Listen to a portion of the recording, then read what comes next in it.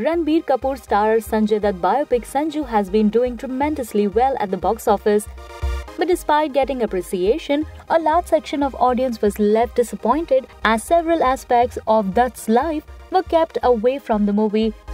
Now finally, Sanjay Dutt has reacted to the allegations of Rajkumar Hirani's Sanju being an attempt to whitewash his image. In a recent interview, Sanjay Dutt said, I just want to say that Munna Bhai was already made. That Avatar was already out. I don't think anyone would spend 30 to 40 crore to change his image. That is too much of an amount.